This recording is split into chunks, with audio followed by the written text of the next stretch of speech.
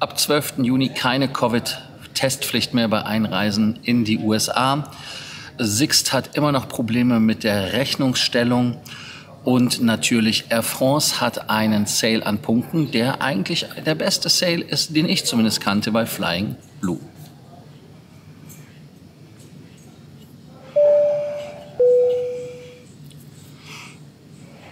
Mein Name ist Lars, ich bin hier im Loft in München. Für euch natürlich wie immer die neuesten Neuigkeiten aus der Welt der Meilen, der Punkte und des Status. Auch heute wieder denkt dran zu abonnieren, die Glocke anzumachen, zu kommentieren und ein Like dazulassen. Danke dafür. Heute natürlich München, weil heute Stammtisch. Wenn ihr heute Abend noch um 18 Uhr zum Augustiner Keller kommen wollt, der ist einmal über den Bahnhof rüber in die Richtung. Herzlich eingeladen, ich freue mich. Das erste Thema, ja, die USA haben die Testpflicht fallen lassen. Nichtsdestotrotz muss man immer noch zweimal geimpft sein, mindestens. Und ab Sonntag bei der Einreise ist es nicht mehr verpflichtend.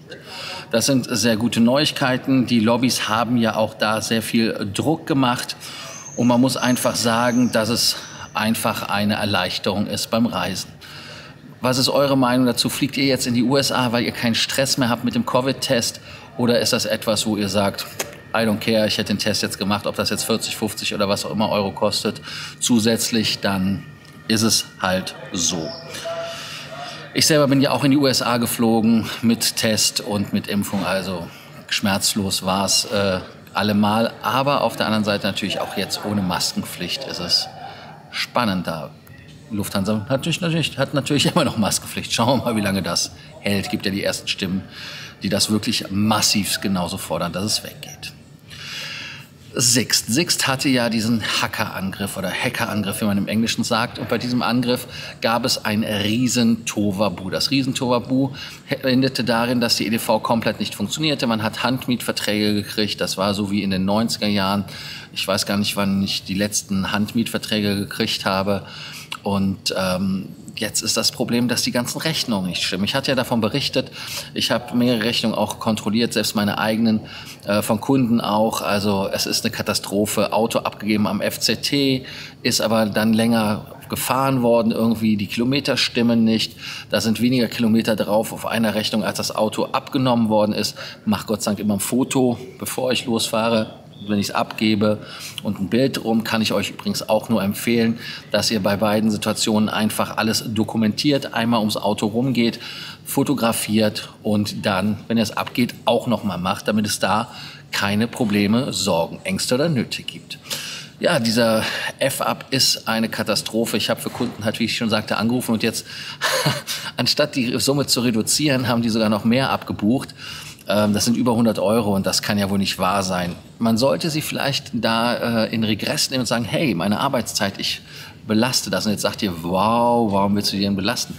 Ganz einfach, wenn ihr ein Knöllchen bei Six zum Beispiel bekommt oder bei anderen Mietwagen, äh, Firmen, dann fragen die ja von euch nicht nur, äh, dass ihr das Knöllchen bezahlt, sondern die sagen auch, wir wollen eine Gebühr haben und die sind teilweise sehr, sehr saftig. Also die Erinnerung dazu, ähm, also bei mir, ich habe bis jetzt kein Knöllchen bekommen, ehrlicherweise, aber ich habe von Leuten gehört, die da richtig viel Geld bezahlt haben. Wer richtig viel zahlen kann, ist bei Air France. Bei Air France gibt es im Moment einen Sale bei Flying Blue. Blue äh, Flying Blue. Flying Blue. Ich habe noch nichts getrunken, schwöre. Erst heute Abend. Und dann auch nur Radler, also nicht, äh, schwöre immer noch. Ja, also 120 Prozent Bonus und damit ist das Ganze dann ähm, bei 1,30 Euro ungefähr, wenn man das sieht. Und man kann natürlich auch gucken, äh, dass man da halt auch wirklich von partizipiert. Ähm, wie funktioniert das? Wenn man äh, 4.000 oder etwas mehr Meilen kauft, kriegt man 50 Prozent Bonus. Wenn man 16.000 oder mehr Meilen kauft, kriegt man 70 Prozent Bonus. Wenn man 32.000 und eine Meile kauft, dann gibt es 100 äh, Prozent Bonus. Oder wenn man zwischen 50.000 und 100.000 Meilen kauft, dann gibt es diese 120 Prozent. Und normalerweise ist ja der Maximumkauf bei Air France 100.000 Punkte, ähm, also ohne Bonusmeilen. Und ähm, wenn man halt ein ähm, Premium-Mitglied ist oder ein Statusmitglied ist, dann kann man sogar 300.000 Punkte kaufen. Was sollte man noch dazu sagen? Ähm, Steuern sind natürlich bei Air France, wenn man Flugtickets kauft, immer wieder auch abgefragt. Ähm, Israel ist zum Beispiel interessant als Sweet Spot. Warum? Weil das wie Europa behandelt wird. Dann, ähm, wenn man halt von den USA nach äh, Tel Aviv fliegt, dann sind das 55.000 Meilen als One-Way.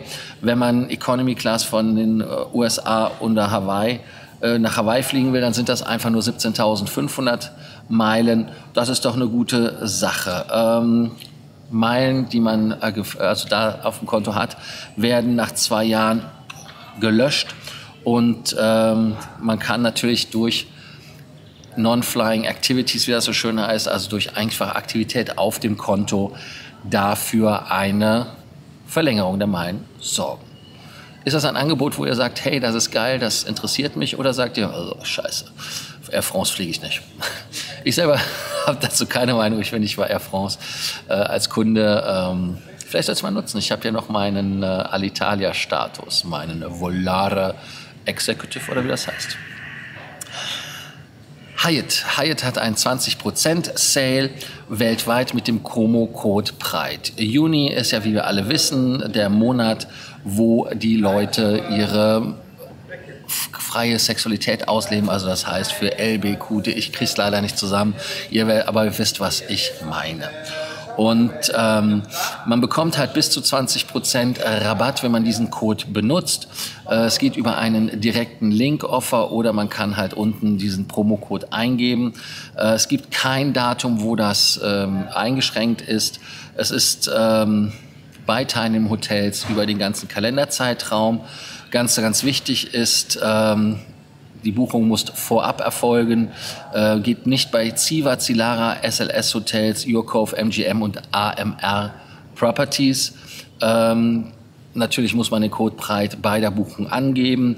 Ähm, eine Nacht Deposit ist wichtig, also ihr müsst eine Nacht zumindest vorab bezahlen. Und äh, 72 Stunden vorher kann man, also bis zu 72 Stunden vorher kann man diese Rate ähm, verkaufen. Ähm, man sollte aber trotzdem bei solchen Ratenschnäppchen immer darauf achten, dass das auch wirklich die billigste Rate ist, weil es gibt auch manchmal Raten, die billiger sind. Und äh, da nochmal ganz ein wichtiger Hinweis an euch. Wenn ihr zum Beispiel halt Privé-Raten buchen wollt oder wenn ihr einfach äh, Fragen zu Hyatt habt, könnt ihr mir stellen, auch heute Abend beim Stammtisch. Ja, an dieser Stelle eine kurze Sendung aus dem Loft in München. Wollte euch trotzdem die ähm, News des Tages einfach mal geben. Ich denke, dass mit Amerika da was Tolles passiert ist, dass Amerika wieder geht. Oh, hier ist Insekten, hier ist Natur in der Münchner Innenstadt. Ihr seht ja auch schön die Bäume, die Sonne. Ich hoffe, das Ganze ist nicht zu dunkel. Ähm, was wollen wir noch erklären? Abonnierbefehl.